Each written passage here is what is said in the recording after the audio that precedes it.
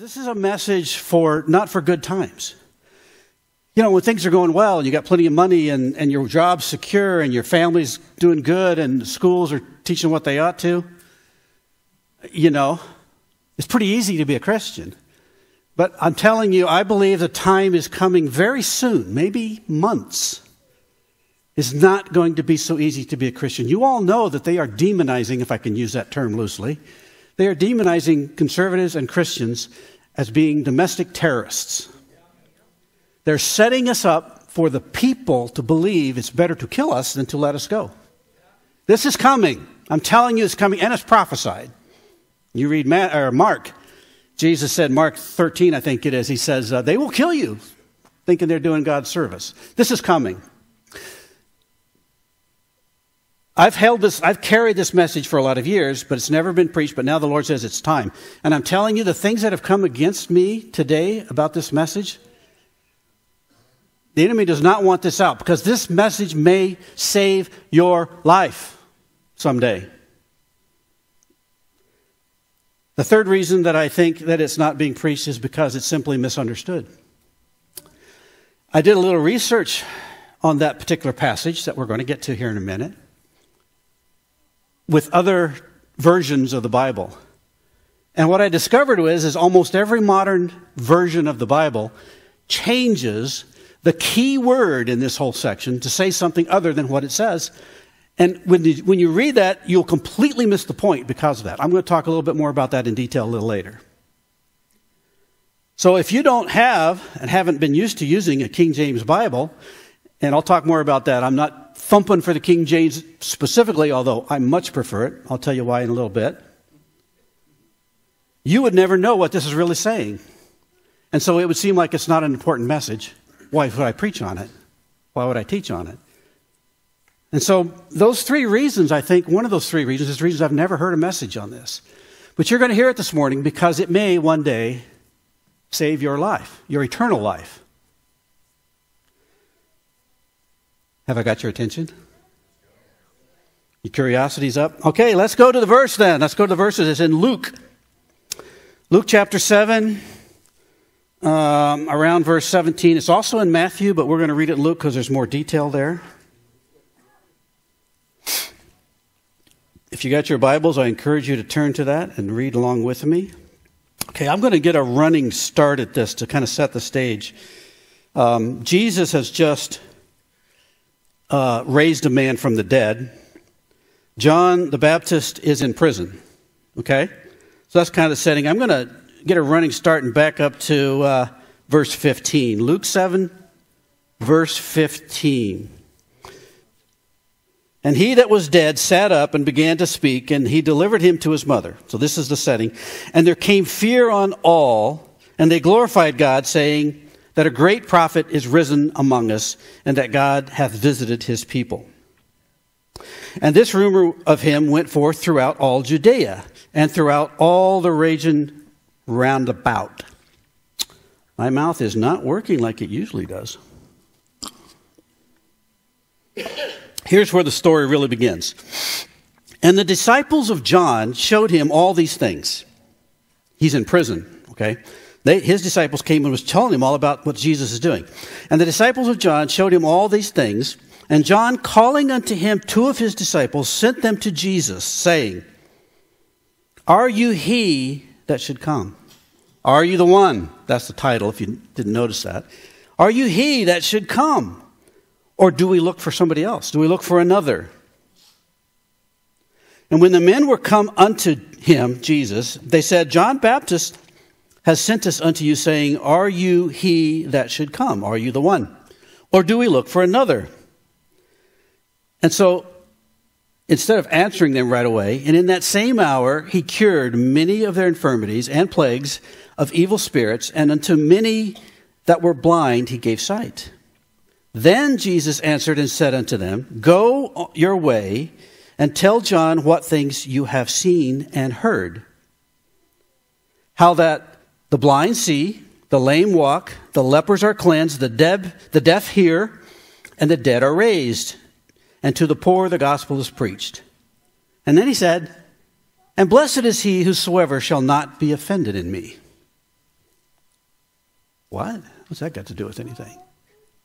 Now, this is a really strange story. Think about this. This is John the Baptist. This is the guy who the Lord told him what to look for, and he said, I saw the Holy Spirit descending like a dove and landing on him and staying there. The Lord told me I was going to see that, and I would know that's the one. This is the one that Jesus came to and said, Baptize me. And John said, Lord, I need to be baptized of you.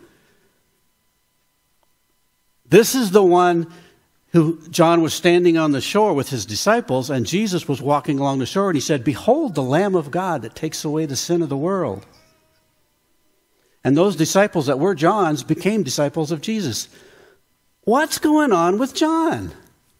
Why is John saying, Are you the one? Or do we look for somebody else? What happened? Well, you've got to get a little bit of background to understand why John's feeling this way. John, you understand, knew the book of Isaiah. And of course, Jesus knew it also. And Jesus also knew that John knew the book of Isaiah. See, John knew who he was. He knew he was the voice of one crying in the wilderness. That's Isaiah 40, verse 3. The voice of him that cries in the wilderness, Prepare ye the way of the Lord, make straight in the desert a highway for our God. They asked John who he was. Are you the Messiah? Are you that prophet that's supposed to come that Moses talked about? And John said, No, I'm the voice of one crying in the wilderness. He knew who he was, and he knew the book of Isaiah. Now, there's a couple other verses in Isaiah. Isaiah 30. Now, you, you, can get these verses from me later if you want to write them down. Um, I got them here so I can read them out really quickly. Um, of Isaiah 35, 4 to 6. I've been so stressed out about this, I have to calm down a little bit. Isaiah 35, 4 and 6. It says this Say to them that are of a fearful heart, Be strong, fear not. Behold, your God will come with vengeance, even God with a recompense, and he will come and save you. The eyes of the blind shall be opened, and the ears of the deaf shall be unstopped. Then shall the lame man leap as a hart, and the tongue of the dumb sing. That sound familiar? Then, for in the wilderness shall waters break out and streams in the desert. Now you begin to understand Jesus' answer. He's saying, Are you the one? Jesus is saying, He went first, He went and did these things. I can't see you if my glass is on, and I can't see my writing without them. Jesus was doing these things. He was causing the blind to see, and the deaf to hear, and the lame to walk, and all these things. And so He's giving this answer to John basically saying, See, I'm doing exactly what Isaiah said I was doing. Right? So you see why he answered him this way? But there's another verse in Isaiah. And it goes like this this is Isaiah 42, 6 and 7. I, the Lord, have called you in righteousness and will hold your hand and will keep you and give you for a covenant for the people, for a light to the Gentiles. And this is, these are prophecies referring to Jesus to open the blind eyes, to bring out the prisoners from the prison, and them that sit in darkness out of the prison house. What's, what's not happening to John? He's sitting there in prison. He's been there for a while. He knows this verse. Where is Jesus? And that's why he's saying, Are you really the one? It's written right here that you're going to do this. You know, Jesus never opened any prison doors literally. Metaphorically, of course, he's doing it all the time, you understand. And these things can be seen metaphorically as well. We all know that. But he was literally healing the blind. He was literally making the lame to walk, hit literally doing these things. But one thing he was not doing literally, he did not open any prison doors. And John's saying, Okay, are you the one? Now, you notice in Jesus' answer, he never mentioned that part. Why do you suppose that was? Because I believe Jesus knew John was not going to get let out of prison. In fact, he was going to get his head cut off. Jesus knew this, I believe, by revelation. Doesn't say that, but I believe he knew it because of his answer after that. The key verse and blessed is he whosoever shall not be offended in me. See, at first glance, that does like, well, what's that got to do with whether you're Jesus or not? That doesn't make any sense. But he knew John was not going to get let out of prison. Now I'm going to take a little sidetrack here because the word that is mistranslated so much is the word offended. I, I looked it up in some other versions of the Bible, most of the modern versions. And this is a beautiful example, and you have to forgive me. I'm going to get on my soapbox here for a minute, my King James soapbox, if you'll forgive me. King James isn't perfect, but I still think it's the best English translation there is, and I'll talk a little bit about that. But I looked it up in like eight or nine different uh, versions of the English Bible. And they said things like, Blessed is he well, that shall not fall away. Blessed is he that will not doubt me. Blessed is he that will not lose faith in me or find me a stumbling block. It doesn't say that in the original language. The word in the original Greek is offended. And that same word that's used other places in the New Testament, which I'll read you some examples here in a minute, is always translated in the King James anyway as offended. And every place you see the word offended in the King James, it's that same Greek word. But modern translations, and when I say modern translations or modern versions, and not all translations, a lot of them are just paraphrases. And a paraphrase Bible, if you don't know that, is just somebody else's opinion of what it says. It's really a commentary. By modern translation, I mean, or modern version, I mean any Bible that's been published within the last 200, 250 years. and I say that because if you do your research and you study, I, I, watched a video once about how the King James Bible came about. I think it's called The Greatest Book on Earth or something like that. I don't remember what it's called. It's on YouTube somewhere. And when I watched this thing, how it all came about, I cried at the end because the authors of the King James Bible had as their purpose, their goal, was to make as accurate one to one translation as they could from, from the original language into, into English. Now, if you studied any other language, you know how difficult translation is. And I've talked a lot about language and words, but because not always, there's not always a one to one correlation between a, one word and another. And you have to sort of interpret a little bit, but they tried as hard as they could just to say what it said and leave the understanding of it between you and God. Now, I have read the motivation of most modern translators or modern versions of the Bible. Usually they are written to make it easier to understand, right? That's their idea. But if they're making it easier to understand, whose understanding are you getting? You're getting the understanding of the authors of that version. Now, the Holy Spirit can overcome all that. My first Bible was not a King James, but over the years, I've, I hear people read from other versions in Bible studies and so on, and I'm reading, and I'm like, oh my gosh, that, that really doesn't seem to capture it. It really changes it. The Holy Spirit can make the difference, but you understand when you read these, the word is, Blessed is he who's not offended. They said, Fall away, doubt me, lose faith in me, find me a stumbling block. You look at that and think about that a little bit. These are all things that could come from being offended. See? But the authors of this decided, well, this is what he really means ultimately. So this is the word we're going to put in this Bible.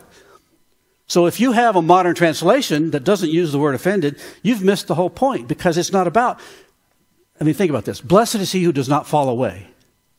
Duh. Of course. There's nothing great about that. Why would I preach on that? That's just like common sense. But the whole point is offense. Offense is a doorway. It's a potential doorway to these other things.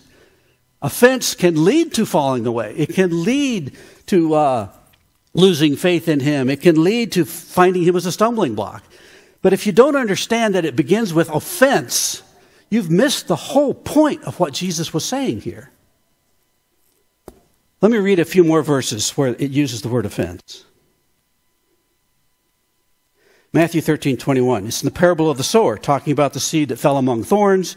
He's explaining what that meant, and he said, but when tribulation and persecutions arise because of the word, by and by he is offended. Doesn't say by and by he falls away, but that can easily be a doorway to that. Matthew 13 57, when Jesus came to his own country and they knew him, um, they knew his family, they knew his mother, they knew his brothers and sisters. And it says, they were offended in him. But Jesus said unto them, A prophet's not without honor, except in his own country and in his own house. Excuse me. Matthew 24 10, he was talking about the last days in Matthew 24. And he says, And then shall many be offended, and shall betray one another, and shall hate one another. It starts with offense. Matthew 26, 31, just before his betrayal. When the, the crowd is all there, or just before they're there, Jesus said to his disciples, All of you will be offended because of me this night. See, now that's an interesting thing about being offended. It's not necessarily permanent. You can forgive, and the offense can go away. You can get new understanding of what was going on, and you realize, oh, I don't, I really shouldn't be offended. But offense is the doorway. And if we don't have this in our minds, when offense happens, we won't recognize it. Um,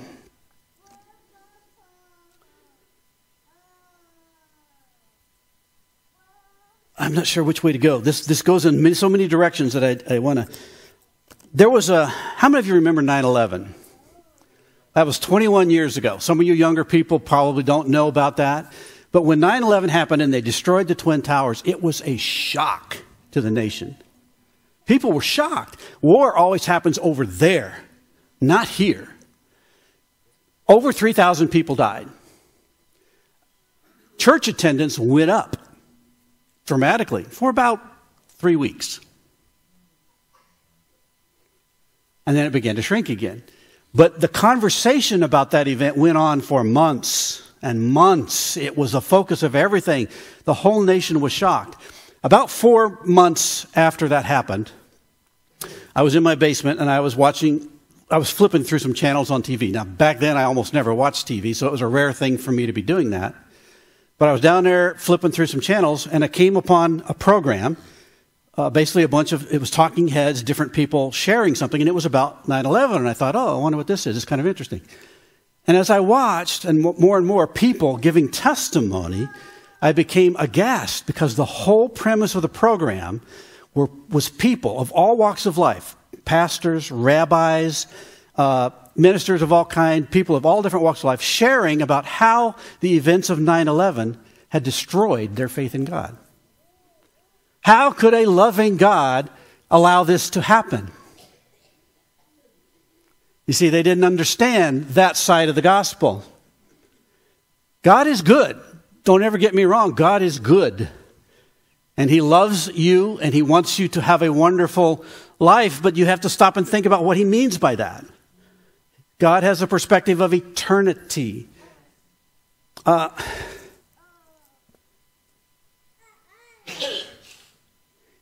here's the, the crux of the message. We're going to share a couple things after this, but here's the crux of what this message here is saying. What was Jesus saying to John? He's saying, Blessed are he that's not offended in me. When things don't go the way you think they're supposed to, when things don't happen the way the pastor has told you they're supposed to happen, when things don't go the way it's written, he will open the prison doors. Are you going to be offended?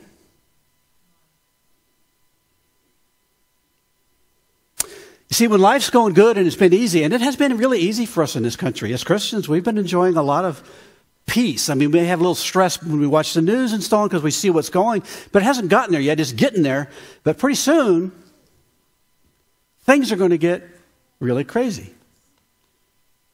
What if somebody snatches one of your children and kills them because you're Christians?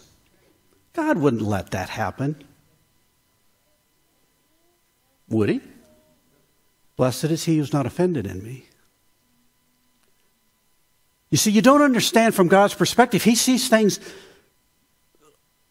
through eternity. He's, he exists on both sides of death. Death isn't a terrible thing to God. He understands our pain and loss, don't get me wrong, but He understands what the other side of death is like and what it is. A death without him, of course, is horrible because he's con- a person is condemned. But, but God doesn't send anybody to hell. Everybody goes there from, by their own free will. They choose that because they don't want anything to do with God. This is little, I won't go off on this too long, but you understand hell is a specially created place that God made where he is not. It took a miracle to do that because he's everywhere and everything. I mean, it's beyond space and time and all this stuff, but hell was a place he created where he is not. It's a black hole.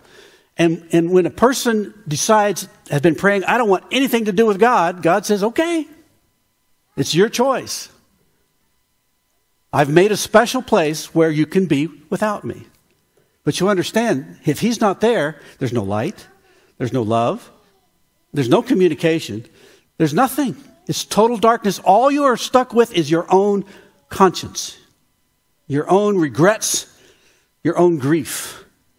The worm dies not, regret. The fire is not quenched, grief.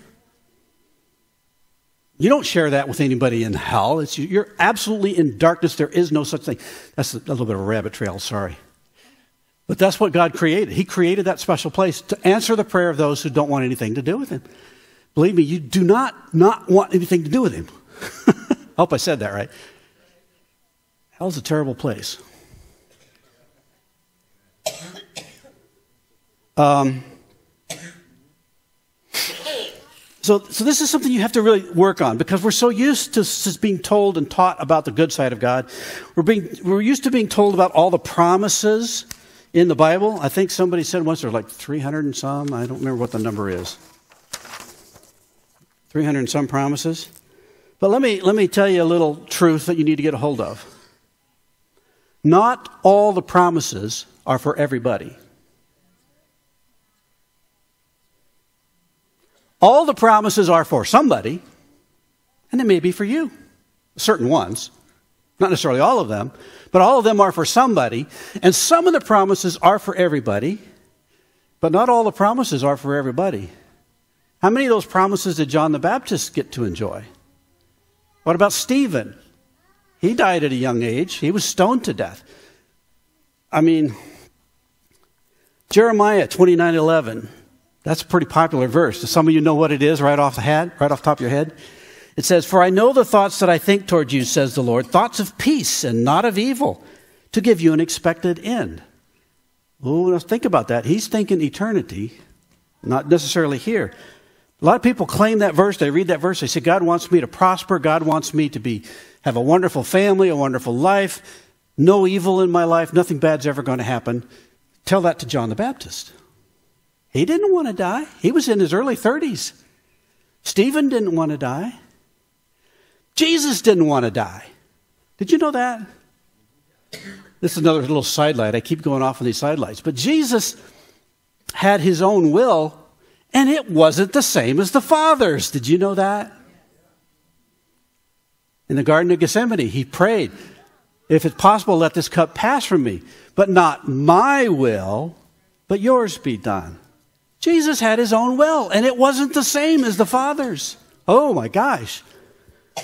That blows my mind sometimes. But you see, Jesus never did his own will. You don't, we don't even know who Jesus was, sort of. I mean, we know he had this great character about him. He was a man of deep character because you see, he never did his own thing. He always did the Father's thing. So we wouldn't even know what Jesus' own thing was. You follow me? But he had his own thing. It was in there. He had his own will, and it was different. You see, but he, di- he died to it. He had to die to it. He's not asking you to do anything that he didn't do. He's asking you to die to your will, just like he did, and live to the Father's. That's not easy. Especially if he's calling you to stuff that you don't want to do. Lord, I want to be a missionary over in Africa. Lord says, No, I want you to raise these three kids because I got some use for them as well. Lord, I want to raise these three kids. And no, I want you to leave them with another family that I'm going to take care of, and I want you to go to Africa. That kind of thing happens all the time. Are you going to be offended? Are you going to be offended?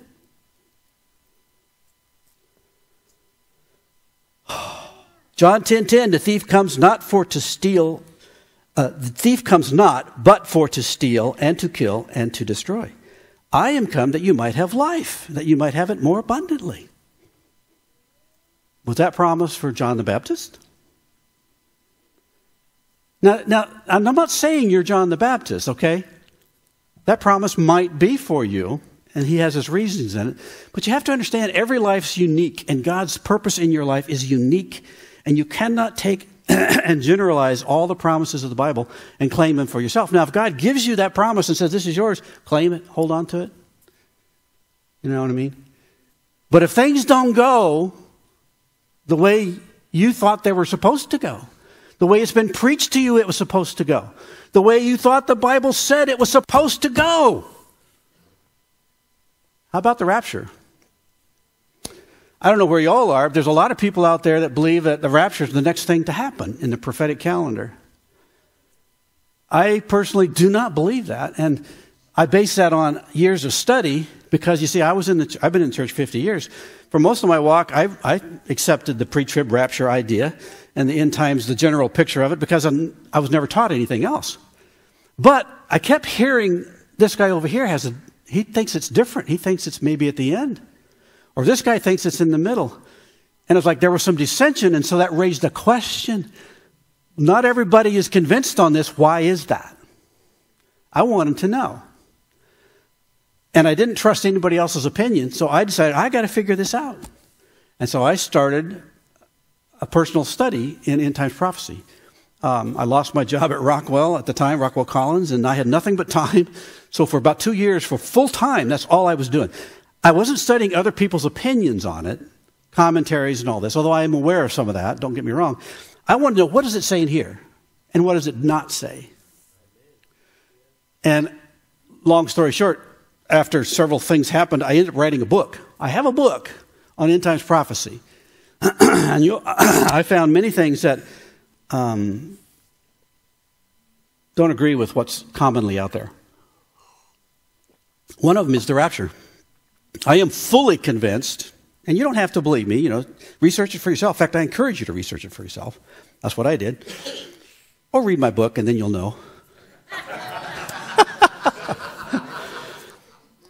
The rapture occurs at the end, right before Jesus comes back. But the, I've, I've researched how the whole idea of the pre trib rapture began, who originated it. It was a Jesuit priest back in the 1500s, the guy that originated the Jesuit priest order. I know the whole history of how it developed and where it came from and how it was propagated through Dallas Theological Seminary all over the United States. It's commonly believed by almost every church out there. It's setting people up to be offended. I've, I've, I've had debates with people on this and because I know the facts, I know what it says, and they just will not receive it. It's something called cognitive, cognitive dissonance. You know what that is? That's when you have a belief that's very deeply held. You feel like you're convinced of this. You've got solid reasons for it. It's settled. I don't want to think about it anymore. That's settled. The rapture's settled. Then somebody comes along that has actually valid information that contradicts what you believed. And your mind goes, no. You know, dissonance is when two notes don't, don't mesh, mesh together in harmony. They, they clash, and it sounds horrible, and it hurts and their brain kind of goes, eh, eh, eh, I don't want to hear this. I've got this settled. I don't want to think about this. I don't want to rethink this. Forget it. And in their brain, they literally, doesn't matter how much evidence you have, they just throw it out because it makes them uncomfortable. I'm telling you, this rapture belief that I believe is a false teaching is setting people up to be offended. It's setting, it's part, one of the things that's setting the stage for the great falling away. You're all familiar with the great falling away. This teaching today I'm giving you is very timely because there's many things coming that are going to cause you to be offended. In Matthew 24 12, again, the, the, the, chapter where Jesus is talking about the end times, he says, And because iniquity will abound, the love of many shall wax cold. That's the love of God, not each other. The world will still love each other. But because iniquity abounds, the love of many will wax cold. He's, he's alluding to this great falling away. Uh, Paul talks in 2 Thess 2 3. Let no man deceive you by any means, for that day will not come except there come a falling away first, and the man of sin be revealed, the son of perdition. That's talking about the Antichrist. But there are prophecies about a great falling away during those last days. In the middle of that seven years, somewhere in there. And I think part of it will be because so many people were like, I'm supposed to get raptured out. But suddenly, when it becomes so clear and obvious that we're in the middle of the tribulation and that didn't happen, can you imagine? The disappointment, the disillusionment. Like, well, if that wasn't true, what else wasn't true? It's, I think it's going to be a major contributor to the great falling away. And it all comes from offense. Modern translations change those words. You'll miss that whole point. It's about being offended. How easily are you offended by God? When God does things in a way you thought, well, God wouldn't do that. I'm telling you, this is a warning. You see, today it may not be a big deal, but a month from now, when they come to your house and crash into your house and haul you off to jail because they think you're a domestic terrorist, you need to remember this message. You see, when, they, when, when Jesus told, Tell John, blessed is he who's not offended in me, And John might have went, What? But when they came to his cell and picked him up and started marching him to the, the execution chamber, and he walked in that room, and there's the chopping block and a man with an axe. Not only did Jesus not come get him out of jail, he's getting his head cut off. Are you going to be offended? John, I could just hear that echoing in his mind. Jesus said, Are you going to be offended at me? Are you going to let that offense cause you to fall away and all these other things?